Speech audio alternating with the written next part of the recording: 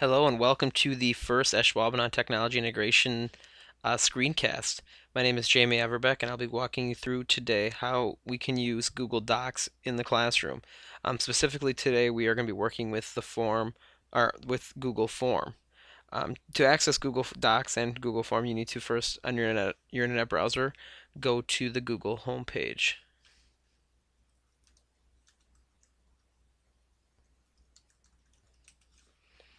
Okay, once you're on the Google homepage, um, Google will have a more setting. You need to click on more and go to documents.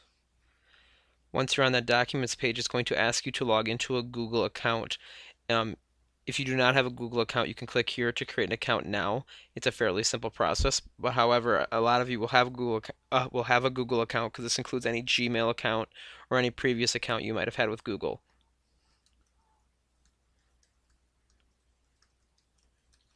So go ahead and log in to your Google account and hit sign in. Okay, and this is the home page of Google Docs. Okay, today we are going to be creating a new document. So I'm going to go to create new and I'm going to show you how to create a form. Okay, a Google form is basically um, an online questionnaire. Um, you could use it as a survey, a quiz, or just a way to um, kind of check for student um, knowledge. Basically, it's a pretty easy, user-friendly idea. You can title your form. I'm going to call this just for this purpose, we'll call it uh, a favorite color form.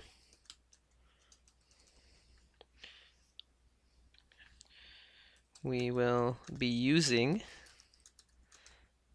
this form today to find out our favorite, ooh, typing is bad today, colors. Okay. Now you can choose how many questions you want. Um, you can always go back and change. My first question, I want to use this as a way to figure out more about my students. So my first question is, I want to know their name. Okay. So it's going to be, I want to say, what is your name?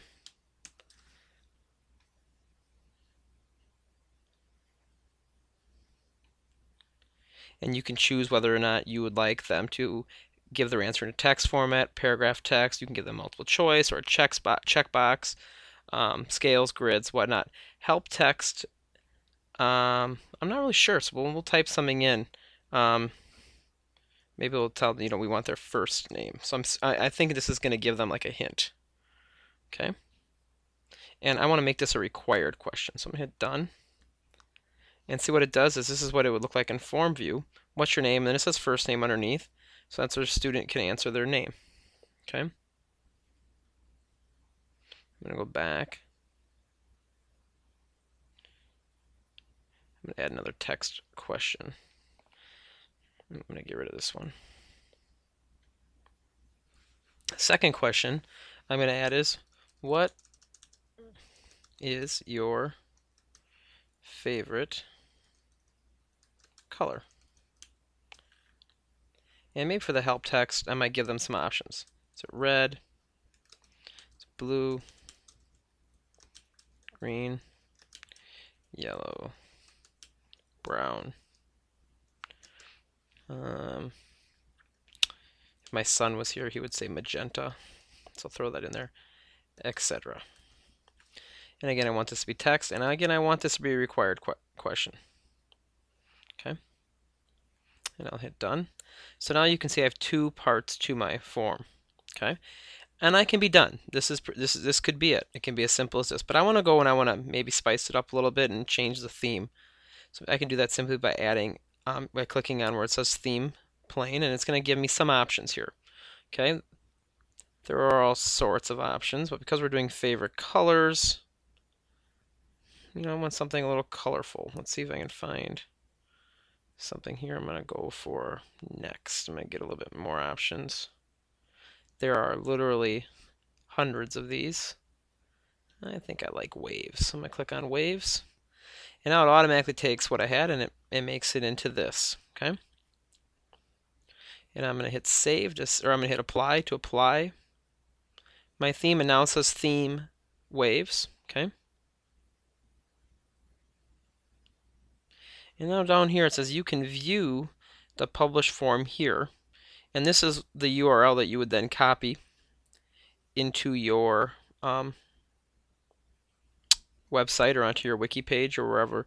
You also could just, you know, write this up on your whiteboard and have students, if they have netbooks or what have you, enter in the, in the enter in the address from there. So I'm going to go to this page and kind of show you what it looks like. So on this page, and let's say, you know, my name is Bob, and my favorite color is red. And I hit submit. And now this is going to say, okay, you can create your own form, which you might want your students to do later at some point, but not right now, or you can go back to the form. So if you only had one computer for four students, you know, a different student, then they could share their student with someone else. So maybe um, Sue is going to say her favorite color is green. And submit. Okay. And they can go back to the form. Okay. And close this. I'm just going to close out and close out of this. And now what you're going to see is this. Back in my Google Docs homepage, it's going to have my modified today. It's going to have my favorite color um, form that I made. I click on it. And you're going to say this looks very different. What happens with Google is every time it creates a form, it creates a spreadsheet in the background. I can still get to my form by clicking on here. I can go to the live form. I can edit the form. If I want to edit my form, I'm right back where I was before. I can add another question if I want to. I can add an item up here and add more to this. I can change the theme. I can email this form. More actions. You can embed it. If you wanted to embed it into a wiki or onto our web page, you could do that. I can see a summary. If I want to see the summary of the events, I can say right now that here are the two people that are in, number of daily responses, and what my favorite colors are. Okay, I'm going to close this. But the nice thing is now I have a timestamp of when my students did this, who they are, what their favorite colors are. Now, granted, I did a, a pretty pretty elementary topic, but this could be questions you know from a reading you gave for homework the night before. You could use this as a quick uh, quiz to see you know how your students comprehended. You also could have them do keywords about a character, and then you could copy and paste those words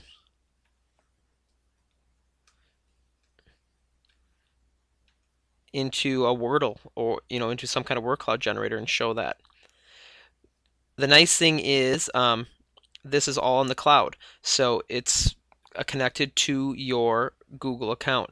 So whether on your home computer, on your home machine, whether you're on a Mac or a PC, you can access Google Docs. You can access Google Docs on an iPad um, or any other tablet for that matter.